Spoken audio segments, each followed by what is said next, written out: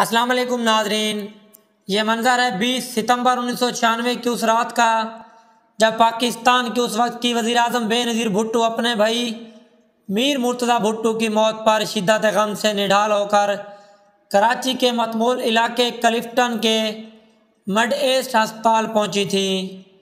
बयालीस साल मुर्तज़ा बेनज़ीर की अस्पताल आमद से चंद घंटे कबल अपने मुहावजीन और पुलिस एहलकारों के दरमियान फायरिंग के तबादले में चार गोले लगने के बाद शदीद ज़ख्मी हालत में अस्पताल लाए गए थे और तिब्बी इमदाद फराम किए जाने के बावजूद दम तोड़ गए। ये और ऐसे बहुत से सवाल हैं जिनके जवाब मैं और मेरी तरह इस वाक़े को रिपोर्ट करने वाले सहाफ़ी, दुनिया भर के ज़रा अबलाग कराची पुलिस से लेकर बरतानवी पुलिस तक तमाम तफ्शीशी अफसरान और कानून नाफिज करने वाले इदारों के हुकाम, अदालतें, तहकीकती कमीशन और सबसे बढ़कर भुट्टू ख़ानदान 24 बरस से तलाश कर रहे हैं। 18 सितंबर उन्नीस सौ चौवन को पैदा होने वाले मीर गुलाम मुर्तज़ा भुट्टू पाकिस्तानी सियासतदान जुल्फ़कार अली भुट्टू की दूसरी औलाद और बड़े साहबजादे थे। जुल्फ़कार अली भुट्टू की पहली शादी उन्नीस में शीरी अमीर बेगम से हुई और दूसरी शादी उन्नीस सौ इक्यावन में किरदार निसाद ईरानी नुसरत भुट्टू से हुई। जुल्फ़कार और नुसरत भुट्टू के चार बच्चे थे, जिनमें बेनज़ीर भुट्टू, मीर मीर मुर्तज़ा भुट्टू, सनम भुट्टू और शाह नवाज़ भुट्टू शामिल थे। मीर मुर्तज़ा भुट्टू ने कराची ग्रामर स्कूल से इब्तदाई तलीम हासिल करने के बाद पहले अमेरिका के हार्वर्ड यूनिवर्सिटी और फिर बरतानिया के ऑक्सफोर्ड यूनिवर्सिटी से तालीम हासिल की। पाँच जुलाई उन्नीस सौ सत्तर को पाकिस्तानी फ़ौज के सरबरा जनरल जयाल हक ने मुर्तज़ा के वालिद और पाकिस्तान के नवे वज़ीर अजम जुल्फ़कार अली भुट्टू की हुकूमत का तख्ता उलट कर मार्शल नाफिज किया। और जब 16 सितंबर उन्नीस सौ सत्तर को जुल्फ़कार अली भुट्टो को गिरफ़्तार किया गया तो उन्होंने मीर मुर्तज़ा को मुल्क से बाहर भेज दिया। चार अप्रैल उन्नीस सौ उनासी को जुल्फ़कार अली भुट्टो को फांसी दे दी गई और जबकि जनरल जयाल हक की फौजी हुकूमत ने नुसरत भुट्टो और बेनज़ीर भुट्टो को गिरफ़्तार कर लिया। और ये दोनों खवतिन तवील अरसे तक असीर और नज़रबंद रखी गई। जुल्फ़कार का क़याम। जब जुल्फ़कार भुट्टो को फांसी दी गई तो मुर्तदा और शाहनवाज भुट्टो लंदन के एक फ्लैट में रह रहे थे। इसके अलावा दोनों भाइयों ने अफ़गानिस्तान और शाम समेत कई दिगर ममालिक में भी वक्त गुजारा। बीस सितंबर उन्नीस सौ छियानवे में उन्होंने एक और प्रेस कॉन्फ्रेंस की और पुलिस पर ज्यादतों का इल्ज़ाम लगाया। मुर्तज़ा ने कहा कि पुलिस हुकाम रियासती यूनिफॉर्म पहने के काबिल ही नहीं।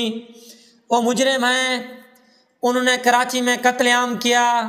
उनका वक्त ख़त्म होने वाला है। मैं उन्हें चैलेंज करता हूँ कि वो मुझे गिरफ़्तार करें। अगर वो उसके सियासी नतज बर्दाश्त करने की हिम्मत रखते हैं तो। मुर्तज़ा भुट्टो उस दिन शाम को साढ़े आठ बजे रैली और प्रेस कॉन्फ्रेंस करने के बाद घर को लौट रहे थे। इनकी बेटी फातिमा भुट्टू अपनी किताब में लिखती हैं कि मेरे वालदा किचन में खाना बना रही थी। मैं अपने छोटे भाई जुल्फ़ी के साथ अपने वालदेन के बेडरूम में टीवी देख रही थी। उस वक्त मेरी एक दोस्त नूरिया का फ़ोन आया। हम अभी बात कर ही रहे थे कि मुझे गोली चलने की आवाज़ सुनाई दी। इसके बाद तो गोलियों की बौछाड़ होने लगी। मैंने नूरिया से कहा कि मैं तुम्हें थोड़ी देर के बाद फ़ोन करती हूँ। मैं जुल्फ़ी को गोद में लिए ड्राइंग रूम की तरफ़ भागी। माँ भी पहले दौड़ती हुई वहाँ पहुँची। हम वहाँ आधे घंटे बैठे रहे। हमने अपने चौकीदार को बाहर ये देखने के लिए भेज दिया कि वहाँ क्या हो रहा है। उन्होंने बताया कि बाहर पुलिस फैली हुई है। पुलिस ने मुझे घर से बाहर नहीं निकलने दिया। उन्होंने कहा कि बाहर डकैती हो रही है। सूरत हाल ठीक होने का आप अंदर ही रहें।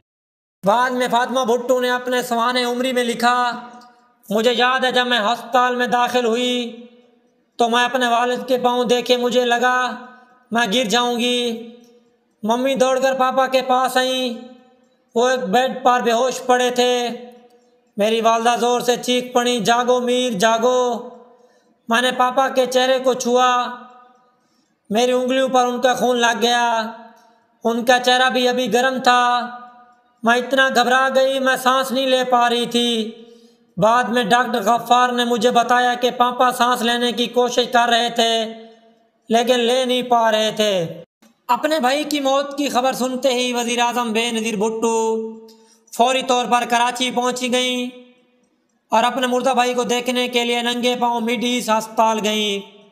बाद में लड़काना में उन्होंने एक तकरीर करते हुए कहा, सन उन्नीस में जब मार्शल नाफिज हुआ और फौज बरस इकतदार आई। तो मीर मुर्तज़ा भुट्टू जवान थे। उन्हें मुल्क छोड़ना पड़ा। फौज की वजह से वो वतन वापस नहीं आ सके। वो अपने वालिद के आखिरी दीदार से महरूम रहे। फातमा ने अपनी किताब में उनके आखिरी वक्त की कैफियत यूँ बयान की है कि पापा के बाल हमेशा करीने से सजे होते थे। वो सिर्फ़ उस वक्त ज़रा ख़राब होते थे जब वो सोकर उठते थे। मैं अपने वालिद की लाश के पास घुटनों के पाल बैठ गई और मैंने उनके चेहरे और गालों होठों को चूमा।